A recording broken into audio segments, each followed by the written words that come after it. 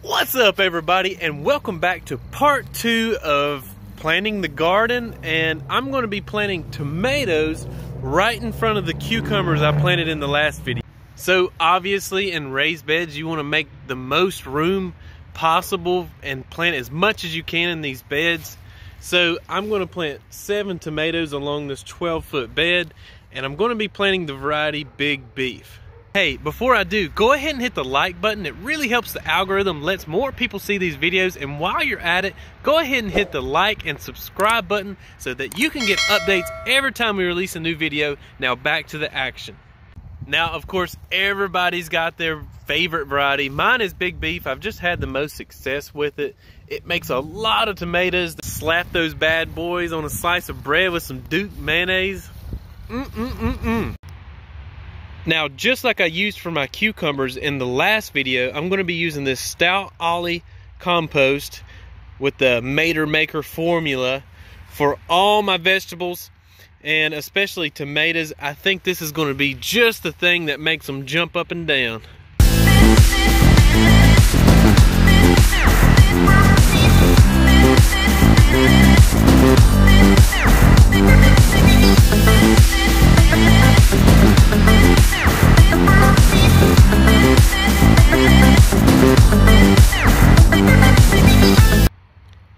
So that wasn't so bad. Again, I planted seven along this 12 foot bed. Those are a little bit closer together than I like.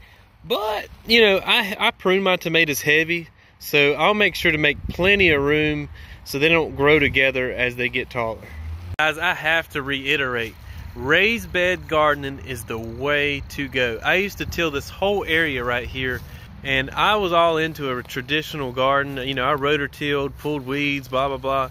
These raised beds make it so much easier for weed control and just overall, it just it's just an easier experience gardening. And I don't sacrifice production at all. I actually get more out of these beds than I ever did in a traditional garden. If you don't believe me, just look back at some of the videos I've made.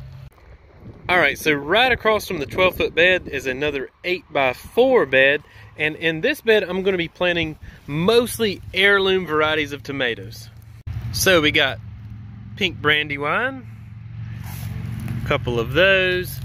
We've got black Krim, which is another heirloom variety. Uh, it's got that purple look to it. Also Paul Robeson, which is a new one I've never tried. It's supposed to be like a, kind of like a Cherokee purple, but it's like a beefsteak uh, purple type tomato. And I've got Celebrity. I'm not sure that's heirloom, but I wanted to plant it anyway. I love Celebrity tomatoes. I've got the classic Cherokee Purple. I've got two of those. And on the very end, I'm going to be planting a Biltmore. Now, sometimes what I like to do when I'm planting tomatoes is go ahead and pinch off these lower limbs and these bottom suckers get this one a little closer to the stem. And the reason I do that is so I can bury the plant a little deeper and right where I've pinched off these suckers, extra roots will grow so it makes for a stronger plant.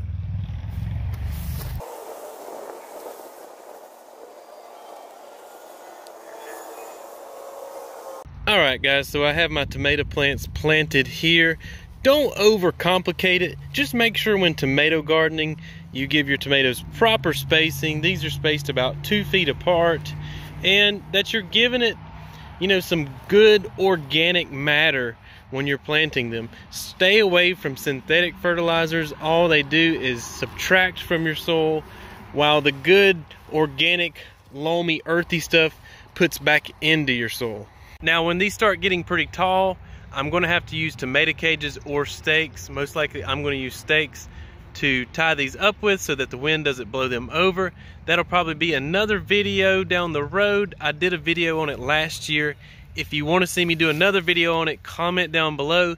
In the meantime, I'm going to go ahead and water these tomato plants in.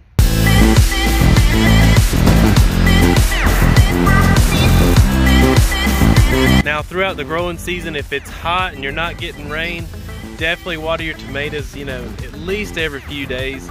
I'm actually supposed to be getting uh, a water line ran down here so I can, you know, not be so far away you know, toting a watering can back and forth. I'm like 100 yards from the house down here.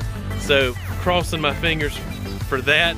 If it happens, I'll definitely make another video about it. For part three, maybe a part four. Depends on how long these videos take for me to finish my garden. Be on the lookout.